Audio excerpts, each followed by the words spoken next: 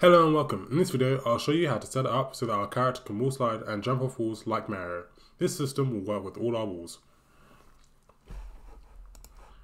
So let's set this up. If we head over to the third person character, into some free space, I'm going to right click and look for event tick and we're going to make it so our character can start wall sliding. However, we're only going to make it so our character can wall slide if our character is in the air. So to do that, we're going to drag in character movement, drag off this and look for is falling and off the return value we will look for a branch. And if our character is in the air and it's falling we'll try and start to wall slide if there's a wall in front of us. To check if there's a wall in front of us we're going to look for line trace by channel. And this will be able to detect if there's a wall in front of us. Where this line trace is going to start we're going to right click and get our actor's location and plug this into the start. Where this line trace is going to end we're going to get our actor's forward vector, we will drag off this and look for multiply vector by float and I'll times this by 70 and off this we'll drag off and look for plus vector plus vector and plug this in. So the line trace will end 70 units in front of our forward vector. I'll just plug this into end and plug this into true. Now if we do successfully hit a wall this return value will be true so we'll drag off this and look for branch. So if this is true, this will mean that we have currently hit a wall and we should start wall sliding. So to let the game know that we are going to wall slide, I'm going to create a new variable and call it wall slide and set it to true if this is true. And just click check and I'll copy this, control C and then control V.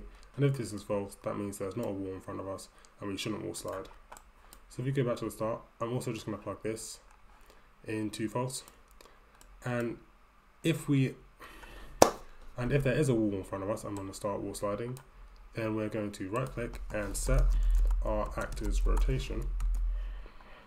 We'll right click and split the structure here, as we're only really setting our actor's rotation in the Z value. And we're going to set our actor's rotation to be off this. We're going to look for break, hit result, off the impact normal, we're going to look for rotation from X vector and we're to right click on this and split structure and off the Z value, we're going to drag off this and look for plus float and look for plus 180 and plug this in. So this will just make it so that our character is facing the correct direction when he's wall sliding. Once we've set our actor's rotation, we are going to drag in our character's movement we will get his velocity. So if I look for get velocity, and then we're gonna slow our character's velocity down so that he slides on the wall. So I'm gonna, so to do this, I'm gonna right click and look for V interp to constant. So we'll get our character's current velocity and we'll slow it down to zero in the X, Y, and Z. For the interp speed, you wanna make it 900 and for the delta time, you wanna right click and look for get world delta seconds and plug this in here. And then we're going to drag in our off our character movement and look for set velocity and plug this in here and this here. So now if I click compile and if I just drag into static mesh walls and click play if I jump on a wall, my character will slide along the surface of the wall. So that when my character is wall sliding and he presses the spacebar button, we're going to make it so he jumps in the opposite direction. To set this up, if we head back to the third person character, where our player's jump action is, when our player presses the jump key, if our player's wall sliding, we're going to make it so he launches himself in the opposite direction. So to do this, we'll drag off when the input action jump button is pressed and look for a branch the condition of this branch is going to be if I'm wall sliding. So I'll drag in my wall slide variable and look for get wall slide and I'll bug this in. So if we press the jump key and we're not wall sliding, we're just going to do our regular jump. However, if we are wall sliding, then we're going to right click and look for get actor forward vector. We're then going to drag off this and look for multiply vector by float and we're going to multiply it by a negative number so that we launch our character in a, the opposite direction to the wall he's facing. So I found a value of minus 300 works well. And then off this, we're going to drag and look for plus vector and we want to plus it by 800. So this will just make it so that my character moves up in the air when he jumps. And then we're going to right click and look for launch character. And where we're going to launch him, we're just going to plug this in here. And we'll plug true in here. So when my player presses the jump button, if he he's wall sliding, we'll launch him negative 300 and up 800 in the z-axis. So we just click compile, we will now test this out. So I'll close this and click play. If I face my wall, press the spacebar button, he is launched in the opposite direction. If I do it for this wall, press spacebar, he is launched in the opposite direction. Now we're going to set it up so that our character does animations when he wall slides. So we just close this, head to my mannequins animation folder, and I'm just going to briefly close Unreal and drag in this third person wall sliding animation. I'll leave a link in the description of where you can download it. For the skeleton, I'll just select the UE4 mannequin skeleton and just click import.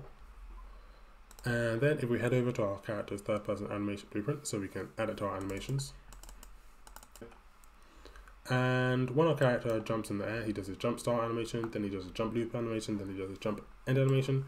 So we're gonna drag in our wall slide, and we're gonna drag from jump loop and drag it to our third person wall slide, and we'll drag from our third person wall slide to our jump loop. So when our character is in this transition, if our character is wall sliding, we'll make it so he does his wall slide animation. So if we double click inside here, in order to enter this transition, we're going to create a new variable and call it is wall sliding.